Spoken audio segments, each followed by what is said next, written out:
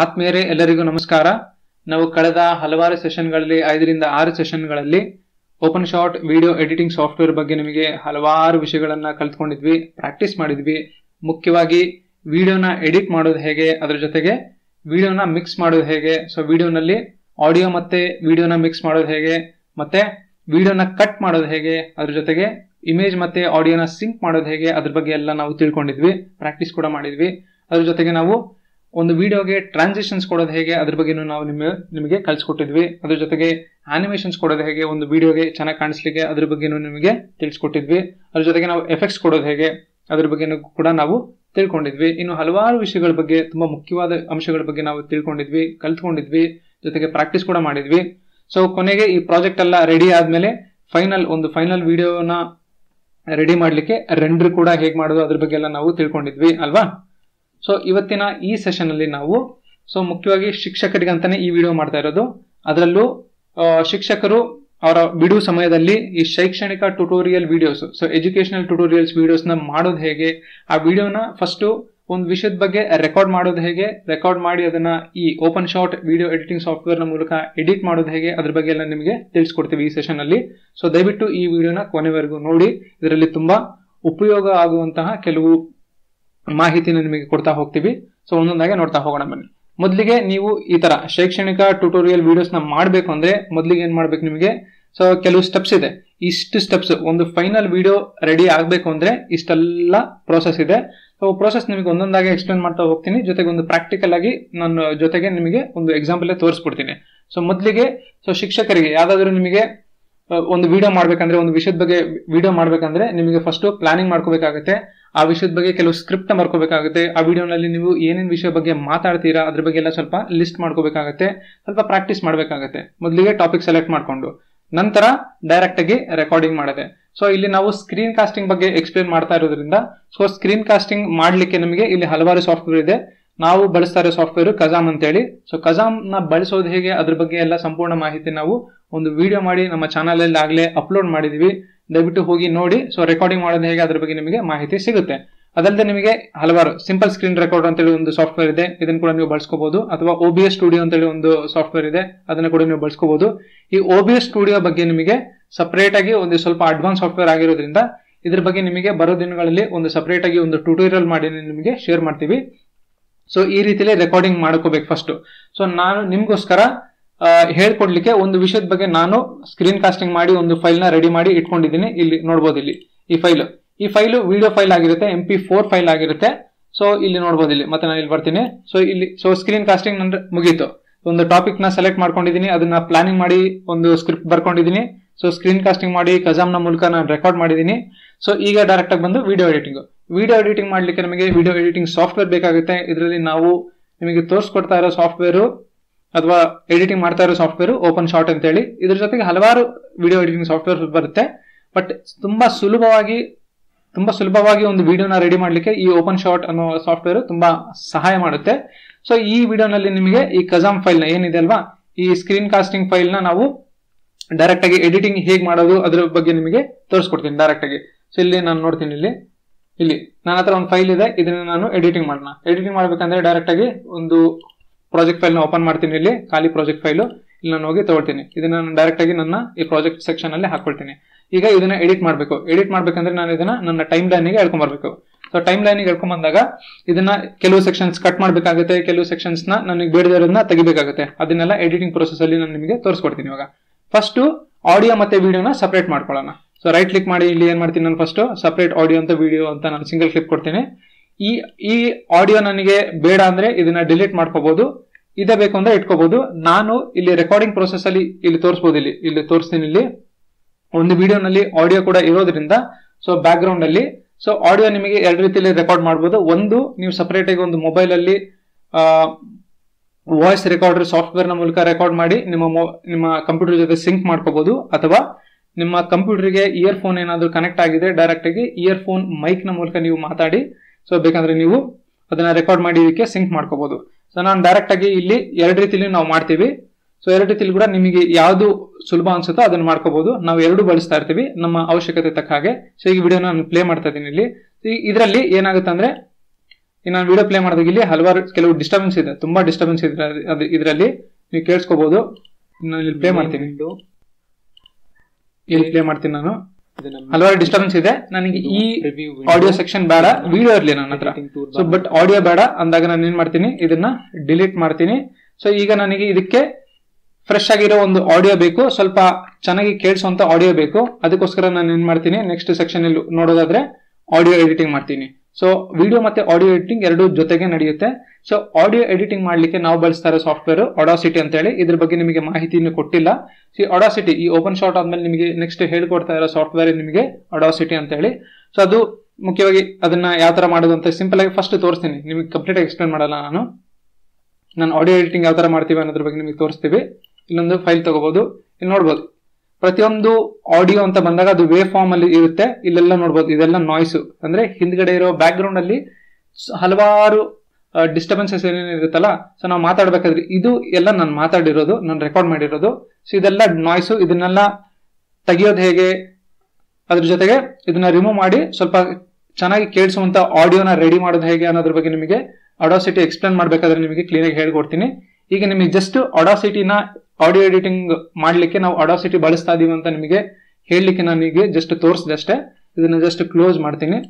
ನನ್ನ ಹತ್ರ ಆಗ್ಲೇ ಒಂದು ಫೈಲ್ ಇದೆ. ಆ ಅಡಾಸಿಟಿನಲ್ಲಿ ರೆಕಾರ್ಡ್ ಮಾಡ್ಕೊಂಡಿರೋ ಫೈಲು ಇದನ್ನ ನಾನು ತಗೊಳ್ತೀನಿ. ಸೊ ಕ್ಲೀನ್ ಆಗಿದೆ ಆಡಿಯೋ ಯಾವತ್ತಿಗೂ ಒಂದು ಹೇಳ್ತೀನಿ. ಒಂದು ವಿಡಿಯೋನ ಯಾರಾದರೂ ಸೊ ನಾನಾಗ್ಲಿ, ನೀವಾಗ್ಲಿ ಒಂದು ವಿಡಿಯೋನ ನೋಡ್ತಾ ಇದೀವಿ ಅಂದಾಗ ಸೊ ಯಾವಾಗಲೂ ಆಡಿಯೋ ಕ್ಲಿಯರ್ ಕ್ಲಿಯರ್ ಆಗಿದ್ರೆ ಮಾತ್ರ ಜನ ಅಥವಾ ಯಾರೇ ಆಡಿಯನ್ಸ್ ಇರ್ಬೋದು ಅದನ್ನ ಎಂಜಾಯ್ ಮಾಡಿ ನೋಡ್ತಾರೆ. ಇಲ್ಲಾಂದ್ರೆ ಆಡಿಯೋ ಕ್ಲಿಯರ್ ಆಗಿದ್ರೆ ಇಲ್ಲ ಅಂದ್ರೆ ಸೊ ಆ ವಿಡಿಯೋನ ಎಂಜಾಯ್ ಮಾಡಲ್ಲ. ಸೊ ಯಾವಾಗಲೂ ಆಡಿಯೋ ಎಡಿಟಿಂಗ್ ಕೂಡ ವಿಡಿಯೋ ಎಡಿಟಿಂಗ್ ಜೊತೆ ತುಂಬಾ ಅವಶ್ಯಕತೆ ಇರುತ್ತೆ. ನಾನು ಈಗ ಹೇಳ್ಕೊಂಡ್ಬರ್ತೀನಿ ಸೊ ಈಗ ನಾನು ಪ್ಲೇ ಮಾಡ್ತೀನಿ. ಇಲ್ಲಿ ಸ್ವಲ್ಪ ಸ್ಟಾರ್ಟಿಂಗ್ ನೋಡ್ಬೋದು ಇಲ್ಲಿ. ಸೊ ಈಗ ನಾನು ತೋರಿಸ್ತೀನಿ ಇಲ್ಲಿ. ಈಗ ನಾನು ಫಸ್ಟ್ ಇದನ್ನ ಪ್ಲೇ ಮಾಡ್ತೀನಿ. ನೋಡೋಣ. ಇದರಲ್ಲಿ ನನಗೆ ಬೇಡದೇ ಇರೋ ಸೆಕ್ಷನ್ ಕೆಲವು ಕಟ್ ಮಾಡೋ ಅವಶ್ಯಕತೆ ಬರುತ್ತೆ. ನಮಸ್ಕಾರ. ನಮಸ್ಕಾರ. ಇವತ್ತು ನಿಮಗೆ OpenShot OpenShot main window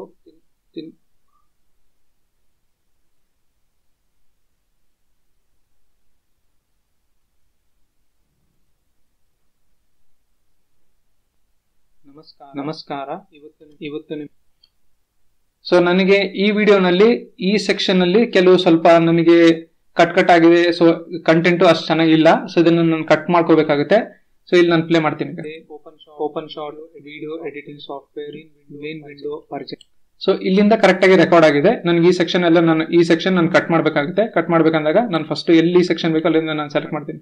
ನಮಸ್ಕಾರ. ನಮಸ್ಕಾರ. ಸೊ ನಾನು ಏನ್ ಮಾಡ್ತೀನಿ? ಇಲ್ಲಿಂದ ಇಲ್ಲಿಂದ ನಾನು ಕಟ್ ಮಾಡ್ತೀನಿ. ಸೊ ನಾನು ರೈಟ್ ಕ್ಲಿಕ್ ಮಾಡ್ತೀನಿ. ಸ್ಲೈಸ್ ಅಂತ ನಾನು ಕೊಡ್ತೀನಿ. ಸೊ ಕೀಪ್ ಬೋತ್ ಸೈಡ್ಸ್ ಅಂತ ಕೊಡ್ತೀನಿ ನಾನು. ಮತ್ತೆ ಇಲ್ಲಿ ಕೂಡ ನಾನು ಸ್ಲೈಸ್ ಕೀಪ್ ಬೋತ್ ಸ್ಲೈಡ್ಸ್ ಅಂತ ನಾನು ಕೊಡ್ತೀನಿ. ಸೊ ಈಗ ನನಗೆ ಇದು ಇವೆರಡು ಮಾತ್ರ ಬೇಕು. ಇವೆರಡು ನನಗೆ ಬೇಕಾಗಿಲ್ಲ. ಸೊ ಏನು ಮಾಡ್ತೀನಿ ನಾನು ಅವಾಗ? ಇದನ್ನ ಡಿಲೀಟ್ ಮಾಡ್ತೀನಿ. ಈಗ ಡಿಲೀಟ್ ಮಾಡ್ತೀನಿ. ಈಗ ನನ್ನ ಆಡಿಯೋ ಮತ್ತೆ ವಿಡಿಯೋ ಸಿಂಕ್ ಆಗಿದೆ. ಇದನ್ನ ಒಂದ್ಸಲ ಜಸ್ಟ್ ಇದನ್ನ ಡಿಲೀಟ್ ಮಾಡ್ತೀನಿ. ಇಲ್ಲಿ ಕೆಳಗಡೆ ತೊಗೊಂಬರ್ತೀನಿ ನಾನು ಮತ್ತೆ. ಈ ಕೆಳಗಡೆ ಆದ್ರೂ ಹಾಕೋಬಹುದು ಮೇಲಾದ್ರೂ ಹಾಕೋಬಹುದು ಆಡಿಯೋನ ರೈಟ್ ಕ್ಲಿಕ್ ಮಾಡಿ ನಾನು ಇನ್ನೊಂದು ಟ್ರ್ಯಾಕ್ ಆ್ಯಡ್ ಮಾಡ್ಕೊತೀನಿ. ಸೊ ಈ ಆಡಿಯೋ ಜೊತೆ ಬೇಕಂದ್ರೆ ನೀವು ಇನ್ನೊಂದು ಮ್ಯೂಸಿಕ್ ಆ್ಯಡ್ ಮಾಡ್ಕೊಳ್ತೀರಾ? ಅದನ್ನು ಕೂಡ ಆ್ಯಡ್ ಮಾಡ್ಕೋಬಹುದು ಸೊ ನಾನು ಸದ್ಯಕ್ಕೆ ಬೇಡ ಅಂತ ಡಿಸ್ಟರ್ಬೆನ್ಸ್ ಆಗುವಂತ ನಾನು ಆಡ್ ಮಾಡ್ಕೊಂಡಿಲ್ಲ ಅಷ್ಟೇ. ಸೊ ಈ ವಿಡಿಯೋನ ಫಸ್ಟ್ ಪ್ಲೇ ಮಾಡೋಣ. ಬನ್ನಿ ಯಾವ ತರ ಕೇಳಿಸುತ್ತೆ ಅಂತ ಕ್ಲೀನಾಗಿ ಕೇಳಿಸ್ಕೊಡಿ ನಮಸ್ಕಾರ. ನಮಸ್ಕಾರ. ಇವತ್ತು ಇವತ್ತು ನಿಮಗೆ OpenShot OpenShot video editing software main window ಪರಿಚಯ ಮಾಡ್ಕೊಡ್ತೀನಿ. ಎಲ್ಲಿ ನೋಡ್ತಾ ಇರೋದು? ನೀವು ಇದನ್ನ? ಮೆನು ಬಾರ್ ಅಂತ ಕರೀತಾರೆ. ಇದನ್ನ main main tool main tool bar ಅಂತ ಕರೀತಾರೆ. ಇದನ್ನ ಪ್ರಾಜೆಕ್ಟ್ ಫೈಲ್ ಸೆಕ್ಷನ್ ಇದು ಇದು ಫಂಕ್ಷನ್ ಟ್ಯಾಬ್ ಸೆಕ್ಷನ್ ಇದು ಪ್ರಿವ್ಯೂ ವಿಂಡೋ ಇದನ್ನ ಎಡಿಟಿಂಗ್ ಟೂಲ್ ಬಾರ್ ಅಂತ ಕರೀತಾರೆ. ಇದನ್ನ ಜೂಮ್ ಸ್ಲೈಡರ್ ಅಂತ ಕರೀತಾರೆ. ಇದನ್ನ ಇದನ್ನ ಟೈಮ್ ಲೈನ್ ಅಥವಾ ಟ್ರ್ಯಾಕಿಂಗ್ ಅಂತ ಕರೀತಾರೆ. ಇದನ್ನ ಪ್ರಾಪರ್ಟಿ ಸೆಕ್ಷನ್ ಅಂತ ಕರೀತಾರೆ. ಇದನ್ನ ಫಿಲ್ಟರ್ ಅಂತ ಕರೀತಾರೆ. ಇದು ಇದು ಓಪನ್ ಶಾಟ್ ಮೇನ್ ವಿಂಡೋನ ಒಂದು ಚಿಕ್ಕ ಪರಿಚಯ. Thank you thank you so ಈ ತರ ನನಗೆ ಈಗ ಎಡಿಟಿಂಗ್ ಎಲ್ಲ ಸೆಟ್ ಆಯ್ತು. ಈಗ ನಾನು ಇದನ್ನ ರೆಂಡರ್ ಮಾಡಬೇಕು. ರೆಂಡರ್ ಮಾಡೋದಕ್ಕಿಂತ ಮುಂಚೆ ಸೊ ಇದಕ್ಕೊಂದು ಟೈಟಲ್ ಅದೆಲ್ಲ ಕೊಡ್ಬೇಕಂದ್ರೆ ನಾನು ಇಲ್ಲಿ ನೆಕ್ಸ್ಟ್ ಸ್ಟೆಪ್ಗೆ ಹೋಗ್ತೀನಿ.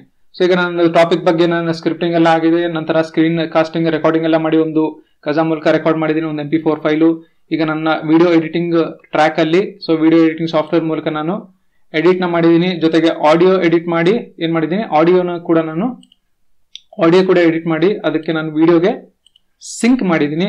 ಈಗ ಕೊನೆಯ ಸ್ಟೆಪ್ ಬಂದು ಇಲ್ಲಿ ಸೊ ಇಲ್ಲಿ ಲೋಗೋ ಅಥವಾ ಡಿಸೈನ್ ಸೊ ಲೋಗೋ ಅಥವಾ ಡಿಸೈನ್ ಸ್ಟಾರ್ಟಿಂಗ್ ಅಲ್ಲಿ ಬರ್ಬೋದು. ಈ ವಿಡಿಯೋನಲ್ಲಿ ನೀವು ಸ್ಟಾರ್ಟಿಂಗ್ ಅಲ್ಲಿ ನೋಡಿರ್ಬೋದು. ನಾವು ಕೆಲವು ಸ್ಲೈಡ್ನ ಡಿಸೈನ್ ಮಾಡಿದ್ವಿ. ಆ ಸ್ಲೈಡ್ನ ಡಿಸೈನ್ ಮಾಡ್ಬೇಕಂದ್ರೆ ನೀವು, ನಾವು ಬಳಸೋದು ಸಿಂಪಲ್ ಆಗಿ ಈಸಿಯಾಗಿ ನಿಮಗೆ ಸುಲಭವಾಗಿ ಮಾಡುವಂತದ್ದು ಲಿಬ್ರೆ ಆಫೀಸ್ ಇಂಪ್ರೆಸ್ ಮೂಲಕ ನಾವು ಡಿಸೈನ್ ಮಾಡ್ತೀವಿ. ಅದನ್ನು ನಿಮಗೆ ಇಲ್ಲಿ ಡೈರೆಕ್ಟ್ ಆಗಿ ತೋರಿಸ್ತೀನಿ. ಯಾವ ರೀತಿಯಲ್ಲಿ ಮಾಡಿದೀವಿ ಅಂತ. ಇದನ್ನು ಓಪನ್ ಮಾಡ್ತೀನಿ ನಾನು. ನೋಡಿದ್ರಲ್ಲಿ ನನ್ನ ಹತ್ರ ಎರಡು ಸ್ಲೈಡ್ಸ್ ಇದೆ.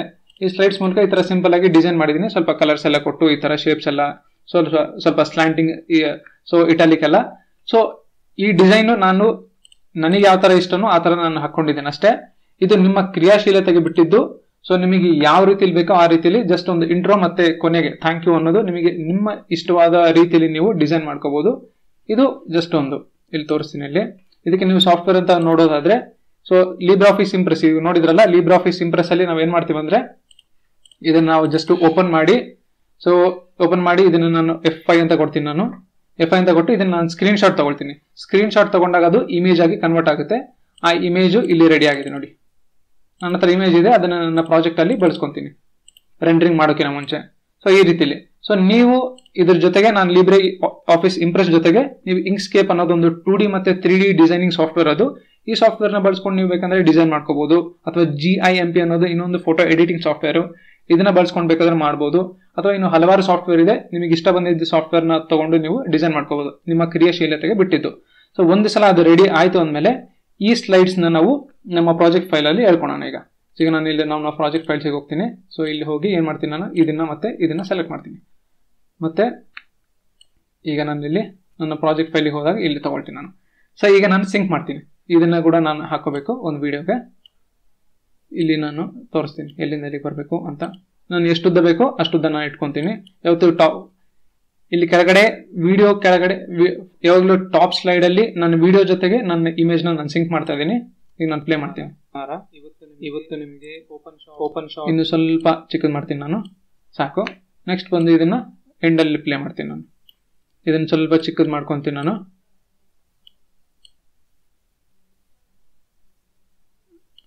ಓಕೆ ಈಗ ನಾನೊಂದು ಪ್ಲೇ ಮಾಡ್ತೀನಿ ನೋಡಿ. ನಮಸ್ಕಾರ. ನಮಸ್ಕಾರ. ಇವತ್ತು ಇವತ್ತು ನಿಮಗೆ open OpenShot video editing software main window ಪರಿಚಯ ಮಾಡ್ಕೊಡ್ತೀನಿ. ಎಲ್ಲಿ ನೋಡ್ತಾ ಇರೋದು ನೀವು ಇದನ್ನ? ಮೆನು ಬಾರ್ ಅಂತ ಕರೀತಾರೆ. ಇದನ್ನ main main tool main tool bar ಅಂತ ಇದನ್ನ ಜೂಮ್ ಸ್ಲೈಡರ್ ಅಂತ ಕರೀತಾರೆ. ಇದನ್ನ ಟರ್ ಅಂತ ಕರೀತಾರೆ. ಥ್ಯಾಂಕ್ ಯು ಥ್ಯಾಂಕ್ ಯು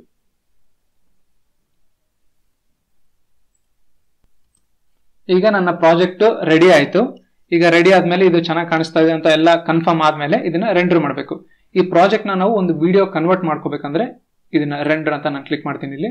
ಒಂದು ಸ್ಯಾಂಪಲ್ ಟೆಸ್ಟ್ ಅಂತ ನಾನು ಕೊಡ್ತೀನಿ. ಸ್ಯಾಂಪಲ್ ಟೆಸ್ಟ್ ಅಂತ ನಾನು ಕೊಡ್ತೀನಿ. ಸೊ ನಾನು ಓಕೆ ಅಂತ ಇಲ್ಲಿ ಎಲ್ಲಿ ಬೇಕೋ ಇಲ್ಲಿ ಪಾತ್ರೆ ಸೇವ್ ಆಗುತ್ತೆ ಇದು.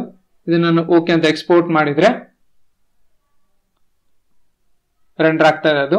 ಈ ಚಿಕ್ಕ ವಿಡಿಯೋ ಆಗಿರೋದ್ರಿಂದ ಸ್ವಲ್ಪ ಬೇಗನೆ ರೆಂಡರ್ ಆಗುತ್ತೆ. ವಿಡಿಯೋ ಲೆಂತ್ ಏನಾದರೂ ಜಾಸ್ತಿ ಇದ್ರೆ ಅದು ತುಂಬಾ ಟೈಮ್ ತಗೊಳುತ್ತೆ.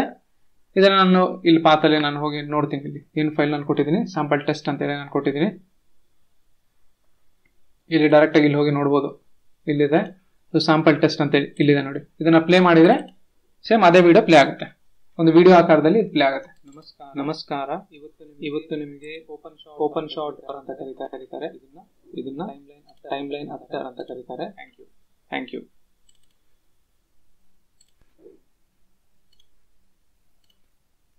ನೋಡಿದ್ರಲ್ವಾ? ಈ ರೀತಿಲಿ ಶಿಕ್ಷಕರು ಒಂದು ವಿಷಯದ ಬಗ್ಗೆ ಈ ತರ ಶೈಕ್ಷಣಿಕ ಟ್ಯುಟೋರಿಯಲ್ ವಿಡಿಯೋಸ್ನ ಮಾಡಿ ನೀವು ಈ ತರ ನಿಮಗೆ ಒಂದು ಸ್ಕ್ರಿಪ್ಟ್ನ ರೆಡಿ ಮಾಡ್ಕೊಂಡು ರೆಕಾರ್ಡ್ ಮಾಡ್ಕೊಂಡು ವಿಡಿಯೋನ ಎಡಿಟ್ ಮಾಡಿ, ಒಂದು ಫೈನಲ್ ವಿಡಿಯೋ ಮಾಡಿ, ಒಂದು ಫೈನಲ್ ಅದನ್ನು ನೀವು ಯೂಟ್ಯೂಬಲ್ಲಿ ಬೇಕಾದ್ರೂ ಅಪ್ಲೋಡ್ ಮಾಡ್ಕೋಬಹುದು ಅಥವಾ ನಿಮ್ಮ ಸ್ಟೂಡೆಂಟ್ಸ್ ಜೊತೆ ಬೇಕಾದರೂ ಶೇರ್ ಮಾಡ್ಕೋಬಹುದು ಅಥವಾ ನಿಮ್ಮ ಸ್ನೇಹಿತರ ಜೊತೆ ಶೇರ್ ಮಾಡ್ಕೋಬಹುದು ಇದು ಕಲೀಲಿಕ್ಕೆ ಒಂದು ಅವಕಾಶ, ಎಲ್ರಿಗೂ ಕಲೀಲಿಕ್ಕೆ ಒಂದು ಅವಕಾಶ. ಸೊ ನಿಮಗೆ ಗೊತ್ತಿರೋ ಇಷ್ಟವಾಗಿರೋ ಒಂದು ಟಾಪಿಕ್ ಬಗ್ಗೆ ಈ ಥರ ರೆಕಾರ್ಡ್ ಮಾಡ್ಕೊಂಡು ಒಂದ್ಸಲ ಪ್ರಾಕ್ಟೀಸ್ ಮಾಡಿ ಎಡಿಟಿಂಗ್ ಮಾಡಿ, ನೋಡಿ. ಮತ್ತೆ ಮುಂದಿನ ವಿಡಿಯೋನಲ್ಲಿ ನಿಮಗೆ ಈ ಥರದ್ದು ಇದೇ ಥರದ್ದು ನಾವು ಇನ್ನೊಂದು ರೀತಿಲಿ ಎಡಿಟಿಂಗ್ ಮಾಡ್ಬೋದು. ಇಲ್ಲಿ ನಾವು ಸ್ಕ್ರೀನ್ ಕಾಸ್ಟಿಂಗ್ ಬಳಸ್ಕೊಂಡು ಮಾಡಿದ್ವಿ. ಮುಂದಿನ ವಿಡಿಯೋನಲ್ಲಿ ನಾವು ಸೊ ಸ್ಕ್ರೀನ್ ಕಾಸ್ಟಿಂಗ್ ಬಳಸ್ಕೊಂಡು ಒಂದು ಎಜುಕೇಶನ್ ಅಥವಾ ಒಂದು ಶೈಕ್ಷಣಿಕ ಒಂದು ಟ್ಯುಟೋರಿಯಲ್ ವಿಡಿಯೋಸ್ನ ನಾವು ರೆಡಿ ಮಾಡಿದ್ವಿ. ಸೊ ಮುಂದಿನ ವಿಡಿಯೋನಲ್ಲಿ ನಾವು ಮೊಬೈಲ್ ಅಥವಾ ಡಿಜಿಟಲ್ ಕ್ಯಾಮ್ರಾದಲ್ಲಿ ಏನಾದರೂ ಒಂದು ಶೈಕ್ಷಣಿಕ ವಿಡಿಯೋನ ರೆಕಾರ್ಡ್ ಮಾಡೋದು ಹೇಗೆ? ರೆಕಾರ್ಡ್ ರೆಕಾರ್ಡ್ ಮಾಡಿರೋ ಫೈಲ್ನ ಎಡಿಟ್ ಮಾಡೋದು ಹೇಗೆ? ಅದ್ರ ಬಗ್ಗೆ ನಿಮಗೆ ತಿಳಿಸ್ಕೊಡ್ತೀನಿ. ಅಲ್ಲಿವರೆಗೂ ದಯವಿಟ್ಟು ಪ್ರಾಕ್ಟೀಸ್ ಮಾಡ್ತಾ ಇರಿ ಅಂತ ಹೇಳ್ತಾ ಈ ವಿಡಿಯೋನ ಇಲ್ಲಿಗೆ ಕೊನೆ ಮಾಡ್ತಾ ಇದೀವಿ ಮತ್ತೆ ಮುಂದಿನ ವಿಡಿಯೋನಲ್ಲಿ ಭೇಟಿ ಆಗೋಣ ಥ್ಯಾಂಕ್ ಯು ಸೋ ಮಚ್